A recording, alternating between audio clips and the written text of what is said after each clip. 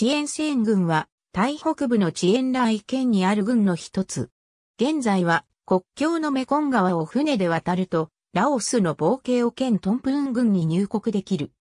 メコン川上流は、船舶航行協定によって、プーアル茶で有名な中国のプーアル市から、ラオスのルアンパバーンまで、全長 886km 区間で自由貿易ができる。遅延西港から中国の傾向まで船が運航されている。ラーンナー王朝初代王、マンラーイの出身地として知られ、ヒランナコーン軍ヤーンと呼ばれていたが、マンラーイは戦と、後に三代目の王、セーンプーによって1329年、再建され遅延セーンつまり、セーンプーの町と名を変えた。ワットパーサック遅延セーンの歴史は、かなり古く、確実なのは、軍ヤーン王国の存在である。遅延セーンは、君主マンライのふるさとであったが、マンライは、元の侵攻を避けるため、遅延ラーイに遷とした。その後しばらく放置されていたが、最終的に第三代の王、セーンプーによって西暦に換算して1329年3月3日、金曜日に遅延セーンとして再建された。この遅延セーンの目的は、北方のコック川支流の大族の無安を軍事的に監督するためであった。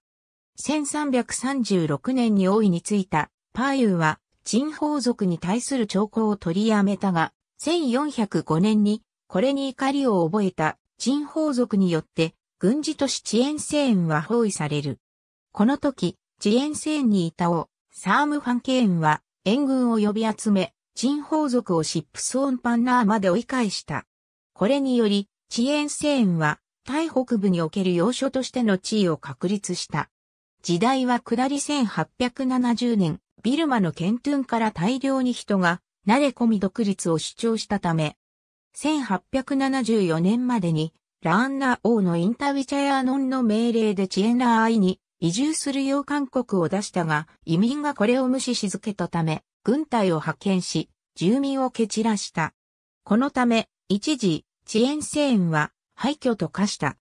その後、ラーンナーのチェットトン王家の血を引くラムパーンの国主、ブンマームアンの息子インタが、遅延セーンの国主として派遣され、1880年に1500世帯の大族が移住させられ、現在の遅延繊維の原型が出来上がった。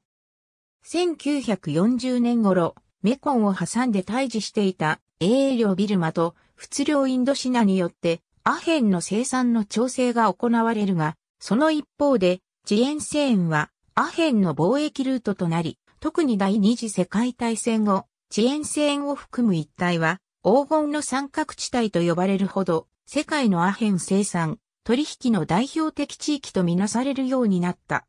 ただし、1980年代以降、取り締まりを強化したり、代替作物の奨励などにより、アヘンの生産は減っている。また、遺跡があることや自然が豊富であることから、観光地として開発がされた。行政区分としての軍としての歴史は20世紀に始まり、中心地域を覆う遅延西塩分群と呼ばれる地域と共に軍とされた。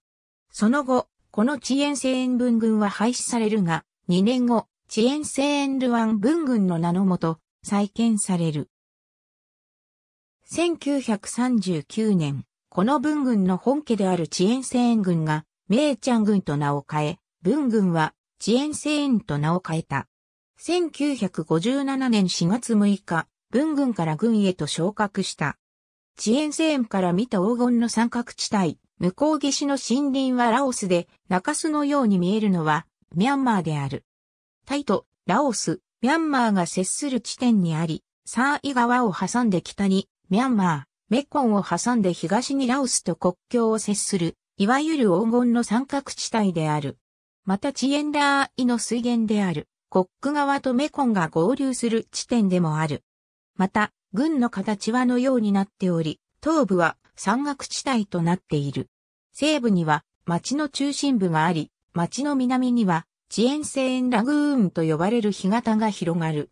昔はアヘンが公然と取引される悪の巣窟のように言われていたが、現在ではアヘンの取引はほとんどなくなった。